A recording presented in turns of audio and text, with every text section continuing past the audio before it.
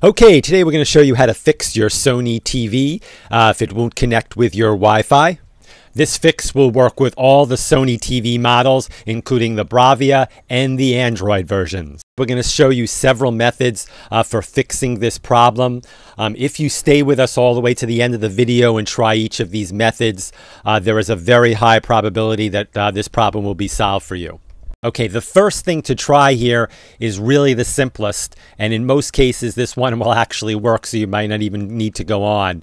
Uh, just basically unplug your TV from the wall, wait about 60 seconds. Now, don't be impatient here, wait the 60 seconds, and then plug it back in.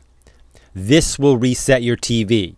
Now, this is a lot different than switching the remote on and off, so do do it from the wall plug. Um, if this solves your problem, you're set. If not, let's go on to the next try. Unplug your router, wait 60 seconds, and then plug it back in. Now, before you test your TV to see if your Wi Fi is working again, make sure your router goes back online. Uh, you'll see it go through a self test, uh, and about two minutes later or so, it'll start acting normally. Then you can check your TV. If this solves your problem, great. If not, this last fix should almost definitely solve your problem. However, this is a factory reset. So this will restore your TV to the exact way it was when you took it out of the box and it was brand new.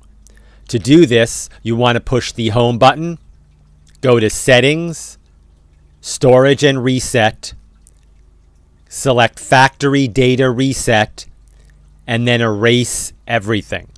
That's our video for today. As always, thank you very much for watching and please remember to subscribe.